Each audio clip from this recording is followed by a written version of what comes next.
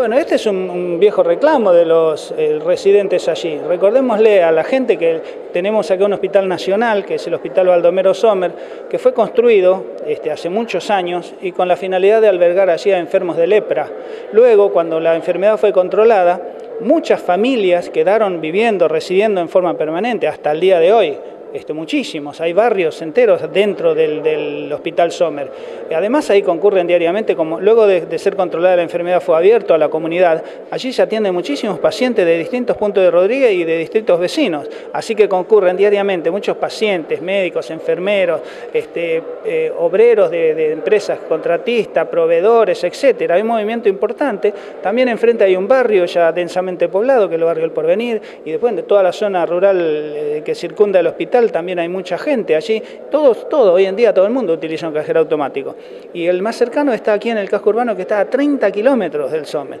Así que se impone como una necesidad. Así que bueno, este, he redactado este proyecto dirigiéndome a todas las entidades bancarias que, que están con sucursales radicadas aquí en nuestro distrito, que son el Banco Nación, el Banco Provincia, el Banco Piano, el Banco Francés, el Santander Río y también el Banco Central de la República Argentina, porque toda medida este, de este tipo tienen que solicitar estas entidades autorizadas al Banco Central. Así que bueno,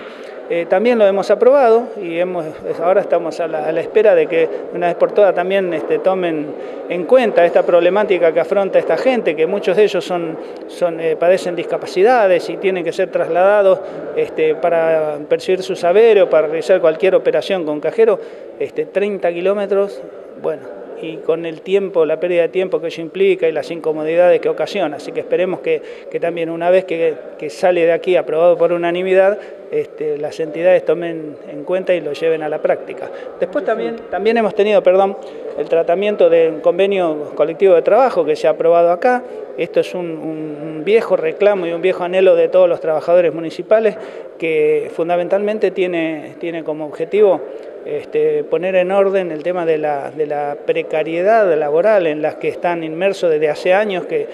por fin ahora se firma este convenio y se aprueba por ordenanza, fijando plazos para los cuales un trabajador de planta temporaria este, pasa a formar parte de la planta permanente del municipio. Esto fue un trabajo arduo, nosotros hemos tenido reuniones en todos los bloques que conforman este cuerpo y también con la presencia de los representantes de todas las entidades gremiales de nuestro distrito,